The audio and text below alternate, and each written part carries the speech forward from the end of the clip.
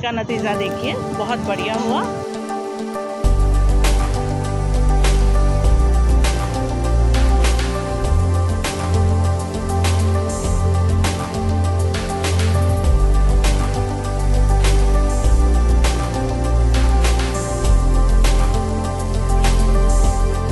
देखिए दिल्ली विकास प्राधिकरण के दफ्तर के हम लोग बाहर हैं और एक ज्ञापन जो है प्रहरी के माध्यम से हमने दिल्ली विकास प्राधिकरण के दफ्तर में रिसीव कराया है। इस ज्ञापन का जो विषय है वो बड़ा क्लियर है कि द्वारका सेक्टर 14 में वेगास मॉल के द्वारा डीडीए की डीडीए की करोड़ों रुपए की ग्रीनलैंड को कब्जा कर लिया गया।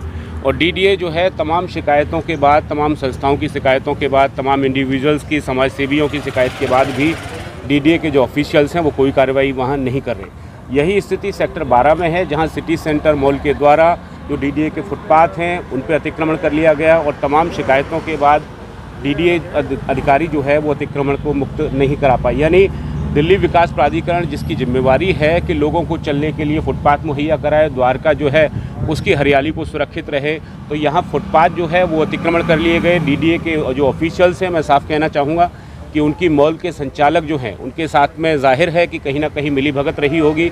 इसीलिए जो जो डीडीए के फुटपाथ थे उनकी कोई लुक आफ्टर नहीं की गई। जो डीडीए की जो ग्रीन लैंड थी सैकड़ों करोड़ की ग्रीन लैंड उस पर वेगास मॉल के संचालकों द्वारा कब्जा कर लिया गया और ग्रीन लैंड को कंक्रीट के साथ में आ, जो स्टोन्स हैं उससे पूरा पाट दिया गया। यानी द्वारका में अब न तो फुटपाथ सुरक्षित हैं न सड़कें सुरक्षित हैं और ना ही जो ग्रीन एरिया है, वो सुरक्षित रहा।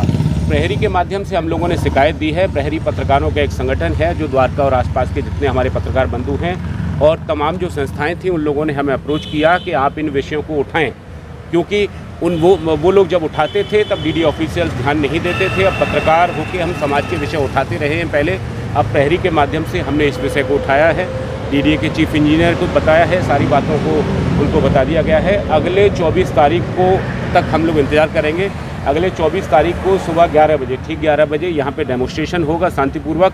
अगर उसके बाद भी हालात नहीं सुधरते, तब दस दिन के बाद में फिर हल्ला बोल होगा, चाहे इसमें हरदीप पुरी जी का घेराव करना पड़े या फिर विकास सदन का।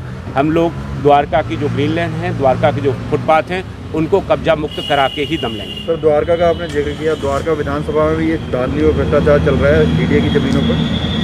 देखिए द्वारका द्वारका विधानसभा हो या फिर द्वारका के अन्य इलाके या फिर आसपास की और जो जितनी भी ज़मीन है चाहे वो कॉलोनीज़ की हो और भ्रष्टाचार किसी का भी हो चाहे डीडीए का हो एमसीडी का हो दिल्ली सरकार का हो या किसी अन्य विभाग का हम लोग प्रहरी के माध्यम से उन सभी के खिलाफ आवाज़ उठाते रहेंगे और उनको उनकी जो भी मुहिम होगी उसको पुरजोर तरीके से उठाने के बाद में एक अंजाम तक पहुँचाने अंजाम तक पहुँचाने के बाद ही दम लेंगे। धन्यवाद।